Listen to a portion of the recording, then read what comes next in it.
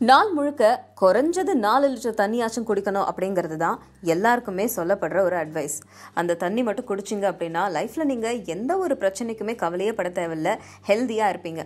ஆனால் தண்ணியிலேயே வந்துட்டு கோல்டு வாட்டர் ஹாட் வாட்டர்னு ரெண்டு இருக்கு. சில பேர் என்ன பண்ணுவாங்க? நாள் முழுக்க கோல்டு வாட்டராகவே குடிப்பாங்க. சில பேர் பிளெயின் வாட்டர் குடிப்பாங்க. சில பேர் ஹாட் வாட்டர் குடிப்பாங்க. இந்த மூணு பேருடைய ஹெல்த்தை செக் பண்ணும்போது ஹாட் வாட்டர் குடிக்கிறவங்களுடைய ஹெல்த்து இன்னும் நல்லா இருக்குது அப்படின்னு நிறைய இடத்துல ப்ரூவ் பண்ணியிருக்காங்க. ஸோ இந்த ஹாட் வாட்டர் குடிக்கிறதுனால என்னென்ன நன்மைகள் உடம்புக்கு வருது அப்படிங்கிறத இப்போ நாம பார்க்க போகிறோம் ஹாட் வாட்டரை குடிக்கிறதுனால சைனஸ் மாதிரியான ப்ராப்ளம் இருக்கிறவங்களுக்கு அது மெல்ல மெல்ல சரியாகுதாம். அதே மாதிரியே டைஜஷன் ப்ராப்ளம் ப்ராப்ளம் இருக்கிறவங்களுக்கும் ஹாட் வாட்டர் நல்ல டைஜஷன் பண்ணுறதுக்கு ஹெல்ப் பண்ணுது. நல்ல நிறைய நான்வெஜ் சாப்பிட்ற நேரத்தில் ஹாட் வாட்டர் குடிக்கிறதுக்காக எல்லாருக்குமே வந்து சஜஸ்ட் பண்ணுவாங்க. காரணம் என்னென்னா நம்ம பாடியில் நான்வெஜ்லேருந்து போகிற அந்த கொழுப்பு எல்லாமே பிளெயின் வாட்டரோ இல்லை கோல்டு வாட்டரோ குடிக்கிறதுனால அப்படியே ஃப்ரீஸ் ஆகிடும் இதுவே நீங்கள் ஹாட் வாட்டர் எடுத்துக்கும் போது அந்த கொழுப்பெல்லாம் கரைஞ்சிடுது.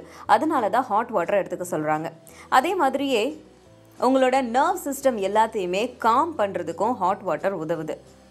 கான்ஸ்டிபேஷன் ப்ராப்ளம் இருக்கிறவங்களுக்கும் ஹாட் வாட்டரை நீங்கள் ரெகுலராக குடிக்கிறது மூலமாக அந்த ப்ராப்ளம்லேருந்து ரிலீவ் ஆகலாம். வெயிட் லாஸ் பண்ணணும் அப்படின்னு நினைக்கிறவங்க தினமும் சாப்பிட்றதுக்கு ஒரு ஃபிஃப்டீன் மினிட்ஸ்க்கு முன்னாடி ஹாட் வாட்டரை குடிச்சிட்டு அதுக்கப்புறம் சாப்பிட்டிங்கன்னா நல்ல உடம்பு ரெடியூஸ் ஆகும். பிளட் சர்க்குலேஷனை இது ஸ்டிமுலேட் பண்ணுறது மட்டும் இல்லாமல் உடம்புல இருக்கிற டாக்ஸின்ஸ் எல்லாத்தையுமே இது வெளியேற்றுது இது நேச்சுரலான பெயின் ரிலீவராக கூட இருக்குது ஸோ ஹாட் வாட்டரில் இவ்வளோ நன்மைகள் இருக்குது நார்மல் பிளெயின் வாட்டர் எடுத்துக்கும் போது நம்ம ஹாட் வாட்டர் எடுத்துக்கினா இவ்வளோ நன்மைகள் இருக்குது அப்படின்னும் போது நம்ம அதையே எடுத்துக்கலாமே. What is Indus valley civilisation Indus valley civilisation the Indus valley civilisation the Indus valley civilisation என்னடி படிச்ச?